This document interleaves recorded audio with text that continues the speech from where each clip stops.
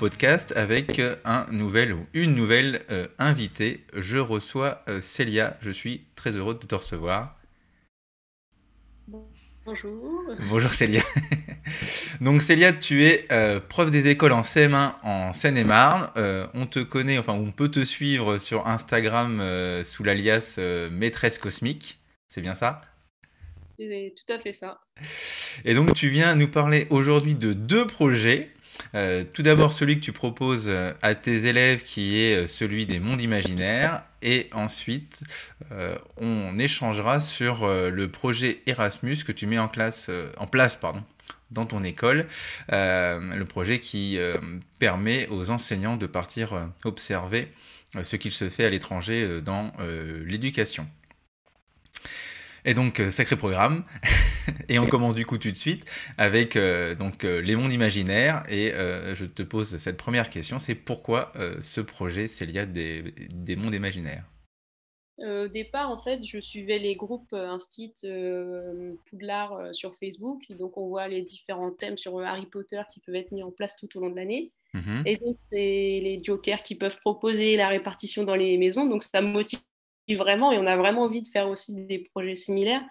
Puis quand on regarde un petit peu aussi le blog de la classe de Mallory, avec tout ce qu'elle propose, les escapes en plus, on, bah, on a envie de se lancer de aussi. Euh, je trouve que c'est vraiment des projets motivants pour les élèves, donc on a envie d'essayer et que ça, on se dit que ça va créer une vraie unité au sein de la classe. Et donc j'ai voulu me lancer aussi dans le projet Harry Potter et de mettre en place des maisons. Mais ce qui m'a freiné, c'est que je voulais pas faire le même thème sur l'année. J'avais peur de m'ennuyer au bout d'un moment de reparler d'Harry Potter toute l'année. Ouais, faire un an d'Harry Potter. J'ai voulu lancer ma classe.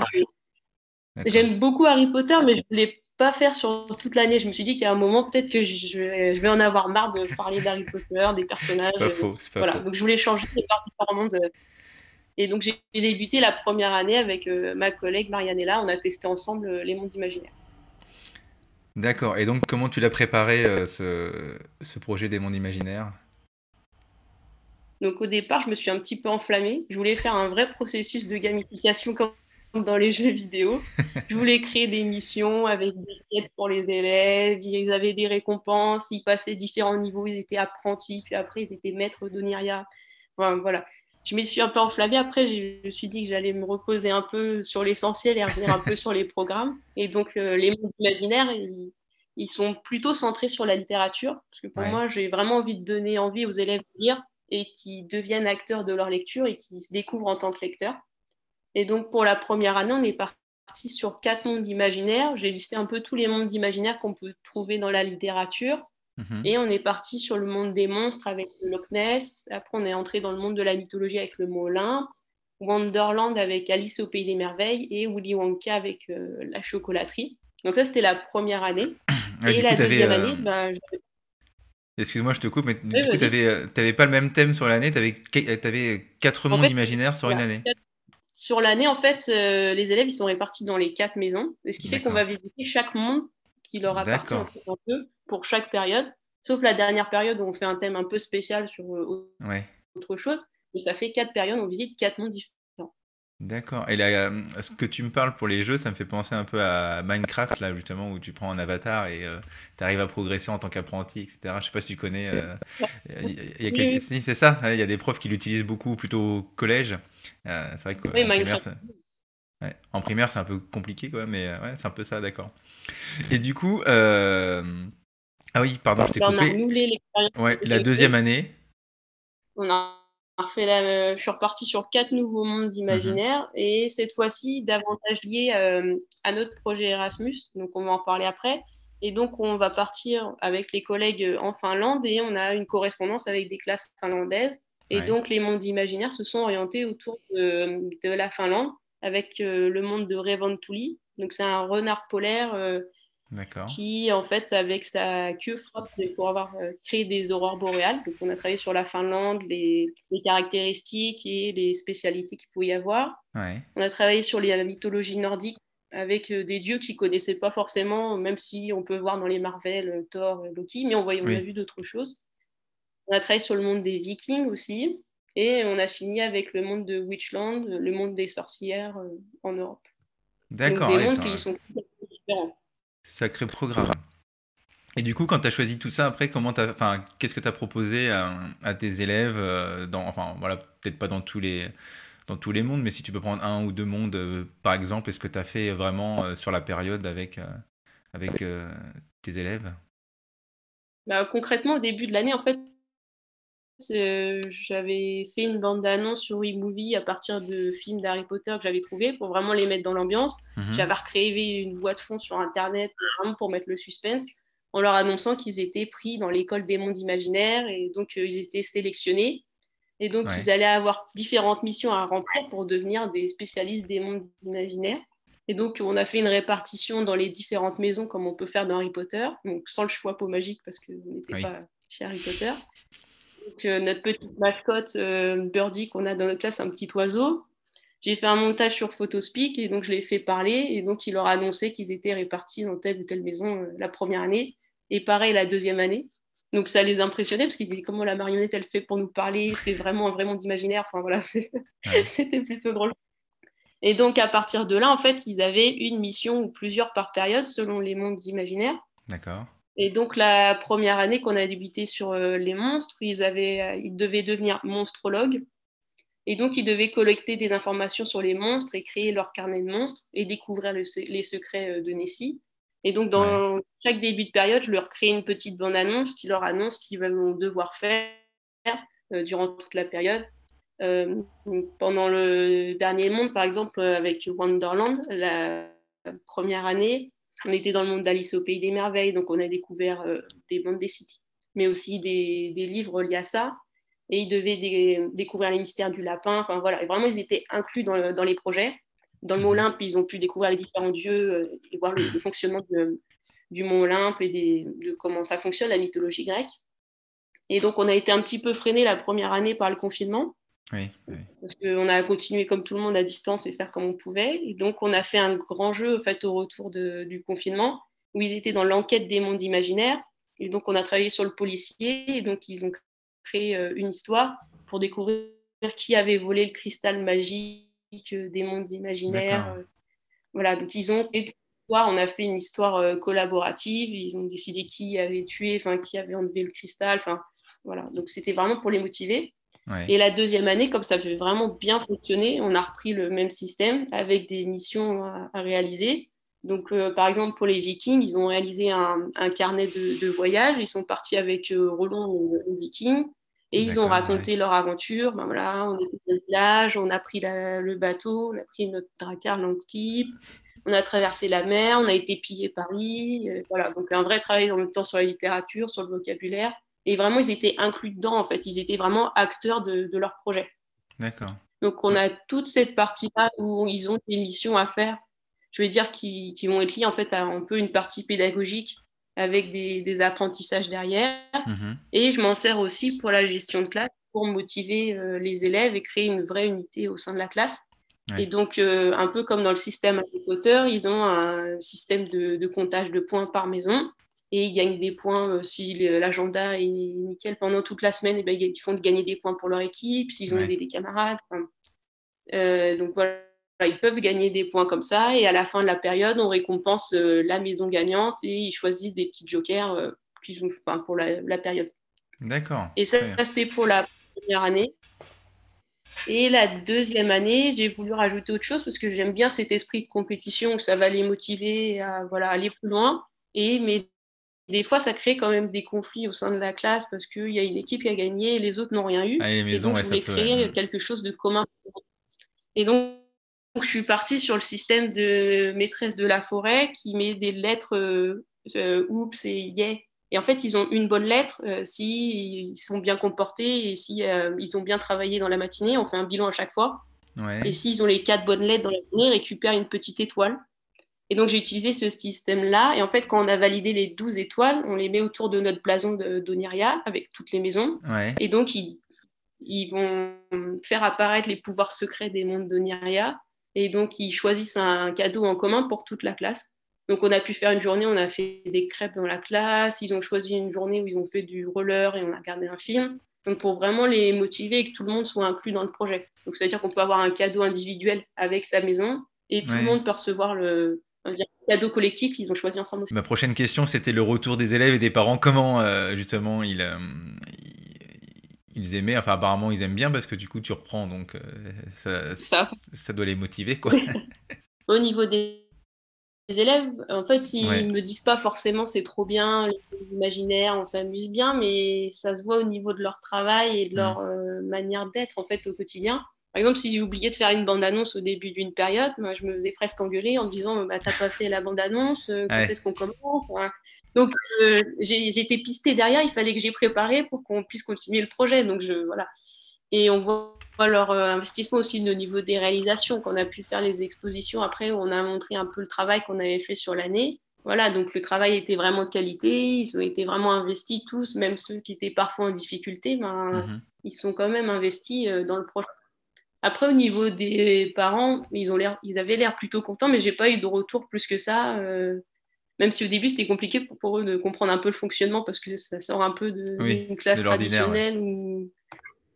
C'est ça, mais il faut connaître l'univers du monde d'Harry Potter, donc même si on explique au début, voilà, il faut qu'ils comprennent un peu le fonctionnement. Mais s'ils voient leurs enfants qui sont motivés et euh, qui vont en classe avec le sourire, je pense que voilà, ils doivent être, euh, ils doivent être assez contents. Quoi. Et d'ailleurs, du coup, est-ce que tu as une petite anecdote à, à me raconter euh, au, sujet bah, justement de, des mondes imaginaires? Bah, C'était pendant le confinement. En fait, on a continué quand même les, la coupe des maisons. Je voulais mhm. vraiment motiver mes élèves parce que c'était compliqué, qu'ils travaillent un petit peu, que j'ai des retours, enfin voilà, comme tout le monde. Ouais, oui. Et donc, euh, chaque semaine, en fait, par période, et eh ben, je faisais des gagnants d'une maison. Et donc, ils gagnaient quand même des points pour leur maison. Et donc, un des jokers, c'était pouvoir faire copier euh, sa leçon par ses parents. Et donc, j'ai une petite qui a choisi ça comme joker. Et donc la maman, elle a joué le jeu, et puis la semaine d'après, elle a copié la leçon de géographie que j'avais envoyée. Et puis elle m'a envoyé la photo en me demandant si elle pouvait elle aussi faire gagner des points dans l'équipe, des points de copie, parce qu'elle avait copié la leçon Donc c'était vraiment très sympa, parce que même les parents ont joué, ils étaient investis, donc c'était très sympa. super anecdote. En tout cas, non, c'est un, un, super projet. Et puis j'avais vu sur ton, euh, sur ton profil Instagram, ouais, les, les, les, blasons, tout ça, c'est super joli. Tu avais fait des trucs, euh, c'est vraiment beau. Donc, euh, j'ai pas eu les bandes annonces, mais à mon avis, si c'est aussi beau que les blasons, euh, ça, doit être, ça doit être pas mal. Mais bah, écoute, merci pour, pour ce projet, Célia. Et on va passer du coup à, à l'autre sujet de, de ce podcast, c'est le projet. Erasmus. Donc avant peut-être d'entrer dans les détails, juste nous faire un petit, un petit topo dessus pour nous expliquer ce que c'est euh, exactement pour ceux qui ne connaissent pas Donc au départ, en fait, quand on parle d'Erasmus, on pense plus au projet Erasmus qu'on peut entendre parler au niveau de l'université où les hmm. étudiants partent à l'étranger, euh, à l'université euh, pendant une période donnée, un semestre, une année, pour apprendre l'anglais ou étudier une, matière. Et en fait, après quelques recherches, j'ai découvert que nous aussi, en tant qu'enseignants, on pouvait partir sur des projets Erasmus, mais qui s'appellent Erasmus ⁇ et donc, en tant qu'enseignant avec Erasmus, on peut faire plusieurs types de demandes. On peut faire des, ce qu'ils appellent des cours structurés, c'est-à-dire qu'on va partir à l'étranger faire une formation, euh, soit une formation de langue, euh, ça peut être une formation de didactique aussi de langue, mais ça peut être une formation sur le numérique, une formation sur l'environnement. Il y a vraiment une liste très large de formations qu'on peut choisir. On peut faire aussi ce qu'ils appellent des stages d'observation. Donc, on part à l'étranger observer euh, dans une école qu'on a contactée euh, des enseignants et en fait on fait un retour sur ce qu'on a pu voir et ce qu'on nous on peut mettre en place après dans notre école à partir de ce qu'on a pu voir. Mhm. Et dernière possibilité, on peut partir avec des élèves ou un groupe d'élèves à l'étranger dans un pays européen, euh, dans des familles d'accueil ou dans des écoles. D'accord. Donc c'est vraiment super, ouais, c'est super motivant. Et donc du coup, toi, tu as décidé de lancer le projet euh, dans ton école avec des collègues? Donc, euh, on a lancé le projet avec ma, collègue Marianella, avec laquelle j'ai lancé les, mondes imaginaires. Donc, euh, on a su ça au mois de décembre qu'on pouvait faire Erasmus et il fallait rendre le dossier euh, mi-janvier. Donc, on a eu ah trois semaines pour faire le dossier. On a dit vite, on le rend, on le rend, on tente, on n'a rien à perdre, on y va. Et donc, notre premier objectif pour la première année, parce que quand on montait le, dossier Erasmus, le premier, c'était que pour un an. Et donc là, l'objectif, c'était de partir en Finlande, euh, observer euh, les méthodes finlandaises, puisqu'ils sont quand même réputés hmm. pour euh, être au top, on va dire, au niveau éducatif. Ils sont très bien classés au niveau de PISA. Et donc, on a cherché une, école correspondante euh, sur eTwinning avec laquelle qui pouvait nous recevoir. Et donc, on a trouvé notre bonheur dessus. Que c'est à vous de choisir, euh, c'est à vous de chercher, quoi. C'est à vous de chercher l'école. C'est pas eux, le projet Erasmus, qui, pro... d'accord, qui propose des écoles. C'est vraiment à nous de monter tout le projet. Et de dire, bah voilà, notre projet, c'est ça. On veut visiter telle école, on a mis en place tel projet, ils sont d'accord, ils peuvent nous accueillir. Euh, nous, on peut les accueillir aussi après s'ils vont valider leur projet. Et donc, euh, depuis un an et demi, on fait de la correspondance avec eux, avec nos élèves. On leur mhm. écrit euh, en anglais, on fait des petites présentations, on a présenté euh, l'école. Et donc, on devait partir en avril dernier 2021 en Finlande, mais avec le Covid, donc c'est reporté avril 2022, et donc on devrait partir maintenant là-bas. Donc ça, c'était pour le premier. Ouais, et tu partirais combien de temps du coup? Un mois Non, c'est ça, euh, jours. On a demandé euh, partir 10 jours. Parce qu'en fait, on est obligé de partir pendant nos vacances scolaires.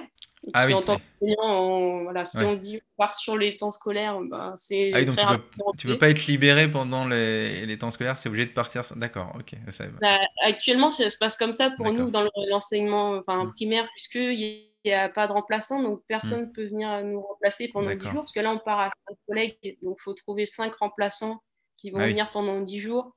Donc c'est compliqué. Ça fait beaucoup. Donc, on, sacrifie nos vacances scolaires pour pouvoir découvrir d'autres choses. Mais bon, voilà, on sait que ça va être des points positifs pour après. C'est sûr. C'est ça. Et donc après, on a voulu renouveler le, le projet, puisque le projet, c'était pour un an. Et donc, on a voulu renouveler l'expérience et on a monté un deuxième dossier et maintenant, la nouvelle monture, en fait, on monte le projet pour plusieurs années et on peut le monter jusqu'à 7 ans. Donc, on a déposé le projet pour 7 ans. Et donc, c'est vraiment des projets sur le long terme. Et, donc là, on a vraiment défini des objectifs sur ce qu'on voulait avoir atteint en fait à la fin des 7 ans. Donc, on a parlé de tout ce qui était lié aux enseignants. On voulait qu'ils aient un meilleur niveau d'anglais.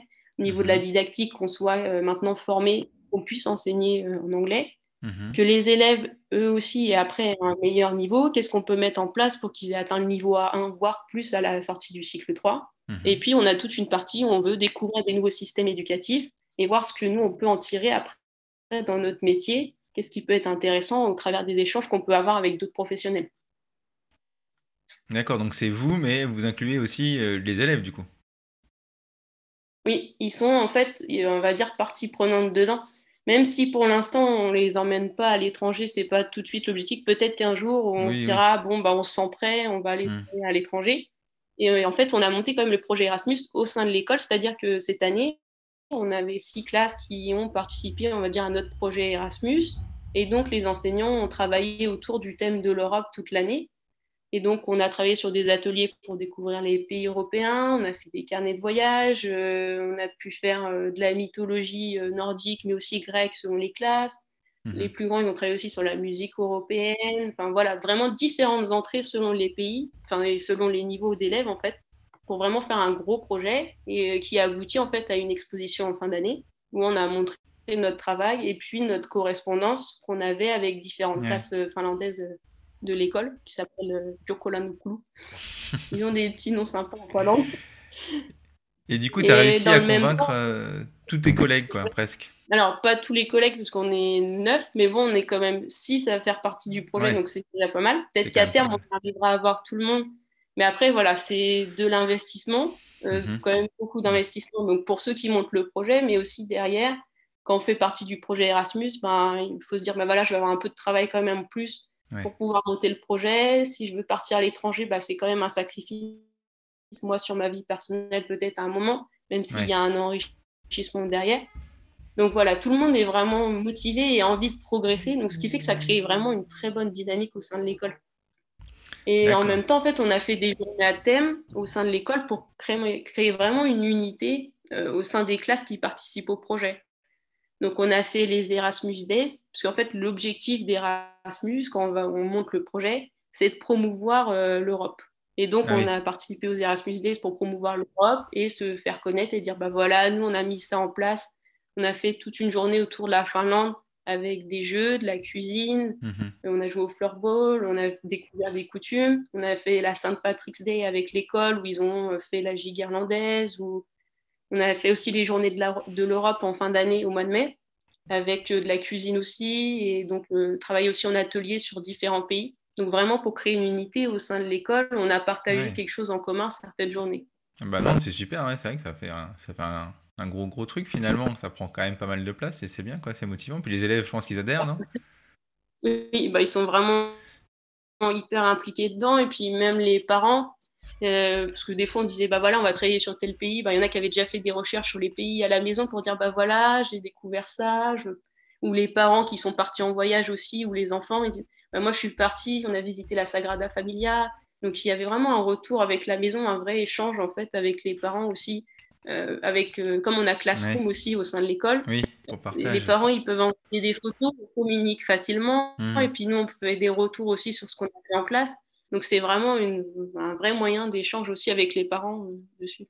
Mais du coup, euh, c'est une question, je ne sais pas si tu pourrais m'y répondre, mais comme vous êtes six classes sur neuf à le faire, et donc du coup, les élèves euh, des trois classes qui ne participent pas, quoi. Du coup, ça, enfin, ça, ils doivent peut-être se sentir exclus quand vous faites les Erasmus D ou les choses comme ça, non? Ça, ça, non? Après, on a ça, pose pas de soucis? On a fait quelques journées à thème. Par exemple, on a fait les ateliers de Noël, ils étaient aussi avec nous. Après, c'est au bon vouloir de chacun. Enfin, je ne vais pas les forcer. Non, euh, voilà, c'est d'investir ce que je disais tout à l'heure. En plus, il faut avoir préparé avant tes ateliers, il faut avoir préparé avant les courses pour faire la cuisine si tu veux faire cuisine ou si tu veux faire sport. Hmm. Après, on ne pas qu'ils participent aux non, non, non, mais journées. Donc, s'ils euh, veulent. C'est juste que c'est du, quand même du travail en plus et qu'il faut savoir prendre le temps et qu'on n'a pas forcément tous le temps à ce moment-là de pouvoir le faire. C'est vrai aussi. Et, et, pour finir, donc, euh, ma dernière question, c'est si euh, s'il y en a qui sont, euh, qui sont motivés pour, pour monter un dossier, est-ce que c'est très très compliqué à faire ou comme tu l'as fait en trois semaines, ça va être facile? On l'a fait en trois semaines, mais sauf qu'on n'a pas dormi pendant trois semaines. C'est-à-dire qu'on a passé le dossier à remonter le dossier, puis la deuxième année, quand on a remonté le dossier, pareil. Donc ça se fait. c'est juste que c'est quand même compliqué de comprendre les questions parce que c'est très administratif, c'est mm. européen, avec des questions où on ne comprend pas le sens. Et donc, il y a carrément un guide euh, Erasmus qui explique chaque question, ce qu'ils attendent dans chaque question, combien de points apporte chaque question. Et donc, en ah fait, on est noté sur 100 par des évaluateurs extérieurs. On a une ah note à la fin qui est donnée et euh, il faut avoir une note élevée pour avoir une meilleure subvention. Plus la note est élevée, plus on est sûr d'avoir de l'argent. D'accord. Ah et donc, si la note et en dessous de 66, par exemple, le dossier n'est pas validé et donc on n'aura pas après de subvention euh, dans les années. D'accord. Et donc, ce qu'ils veulent voir dans le dossier, c'est principalement la promotion de l'Europe, ce que je disais tout à l'heure. Pour gagner des points, il faut citer l'Europe les Erasmus Day, qu'on fait des projets sur e-twinning, qu'on a trouvé des correspondants. Comment est-ce que je vais faire de la promotion euh, après du projet Erasmus? Ça peut être sur Internet, euh, les journaux, parce que nous, on a fait venir le journal de, de la commune qui est venu pour prendre mm. des photos et montrer ce qu'on a fait, ou sur Internet, en faisant venir l'inspection qui fait des remontées au-dessus à la DAZEN, voilà. Donc, il faut vraiment faire de la pub pour montrer qu'on fait des choses autour de l'Europe. Et en fait, dedans, après, donc ça, il y a la partie, je vais dire, commerciale, où on fait de la publicité pour Erasmus. Et on a toute la partie où il faut définir ses objectifs. Et ce qu'ils veulent voir, c'est des objectifs quantifiables, c'est-à-dire que au bout de 17 ans, qu'est-ce que je veux avoir atteint et qu'est-ce que je vais mettre comme critère euh, pour les élèves ou pour mhm. les adultes pour valider que les, critères sont atteints. Et donc, euh, pour monter un dossier Erasmus, je dirais qu'il faut quand même être très, très motivé, mais que ça se fait. Et que ça prend quand même beaucoup de temps et euh, bah, que c'est bien d'être à plusieurs. Parce que moi, j'avais mon binôme de travail, Marianne est là, pour travailler avec elle, où on a monté le dossier et on faisait des échanges en me disant bah, Attends, on va peut-être dire ça ou ça. Et donc, c'est plus facile quand même d'être deux pour pouvoir échanger et progresser dans le dossier. Ah, c'est largement plus motivant, effectivement, quand on est deux que, que seul face, face au dossier, c'est sûr. Quoi. Ah, bah, en tout cas, euh, merci Célia hein, pour, euh, pour ces deux projets. En tout cas, tu auras fait un peu de pub pour Erasmus. J'espère qu'il va t'écouter le podcast. on aura plus d'argent l'année prochaine. ouais, j'espère, j'espère, j'espère pour toi. Non, parce que du coup, ils, ouais, ils, ils, prennent en charge le voyage. Euh, j'imagine. Euh, et puis le logement là-bas sur place aussi, non? En fait, bah, selon le projet qu'on a défini, donc là, pour la première année. Si vous avez 10 jours, ouais, euh, comme tu disais au départ. En fait, on reçoit une subvention. Donc là, c'était pour 5 personnes, on a eu 9500 euros de subvention. Faut prendre les billets, tout ça après. Ok. Voilà. Et on a le budget. En fait, dedans, ils ont déjà défini qu'il y avait une partie, je sais plus, on va dire 3000 000 hmm. euros peut-être pour acheter les billets d'avion. Et le reste pour pouvoir payer l'hébergement, la nourriture qu'on pouvait avoir. D'accord. ce dont on doit avoir en fait là-bas. Ok. Mais tout est en fait, tout est pris en compte dedans. Oui, oui, on a, normalement, on n'a rien à dépenser. Oui, bah oui. Qui... Tout est, Parce que si tu fais un dossier pour après payer. oui, c'est ça. c'est pas très avantageux. Non. Bah écoute, euh, merci Célia euh, pour, euh, pour, pour ces deux projets, de nous avoir parlé ces deux projets dans mon podcast. Ça me fait plaisir de, de t'avoir reçu. et donc cette année, tu fais encore ou pas? Les ben, On va continuer des mondes imaginaire. Et je vais faire un petit post d'ici la semaine prochaine en présentant les nouveaux mondes.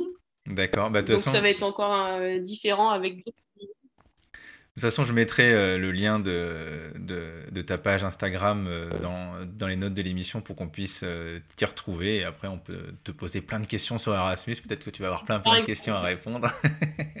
et même sur les mondes imaginaires aussi. Donc, j'ai hâte de voir le prochain post. Hein. En tout cas, merci à toi d'être venu. Je te remercie. Et puis, et puis, je te dis à bientôt. Bah, merci. À bientôt. Au revoir.